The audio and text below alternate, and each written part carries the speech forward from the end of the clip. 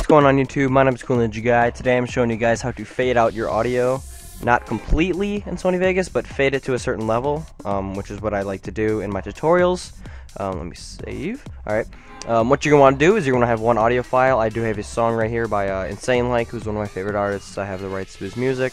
Uh, his links will be in the description, as usual, when I uh, credit music providers. But um, I have one song here and I want to fade it straight to a quieter level, which is negative 25 decibels. Uh, that's already for my background music. So when you have your song, split it and drag it, drag that second part down to the bottom. So if I scroll out, you see I do have the whole song, but I'm only using these like really first 20 seconds.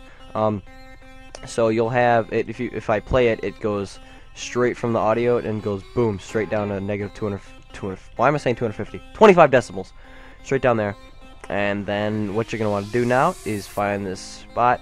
Um, usually as when I like have the clips I will have a, um, a transition.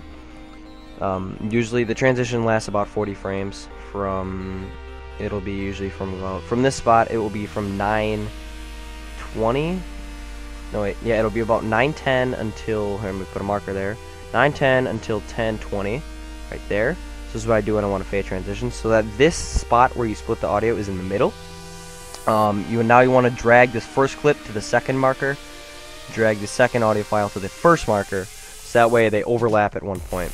Um, so usually if the transition's in the middle, and this is like this peak of the transition, um, what I want to do is I want to fade this first audio clip all the way to the first marker and fade the second audio clip all the way to the second marker. So what this does is when the first clip goes to nothing, the second clip goes up uh, to play. But what to want to do, go to the fade type, right click on it, and click that one. It's like a line. It's the, I clicked the wrong thing. You want to go right to where you click to fade it, right click that, and click the fade option that looks just like a line. So that way it's a lot smoother.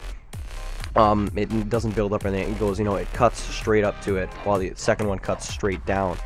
Um, that's really about it, guys. If you enjoyed this tutorial, hit that like button below. Um, subscribe button on top if you're new. I upload tutorials every Tuesday for Sony Vegas and After Effects. I might do some Cinema 4D tutorials if you guys want me to. Um, After Effects and Vegas are more my um, it's more my um, main focus though, my bread and butter.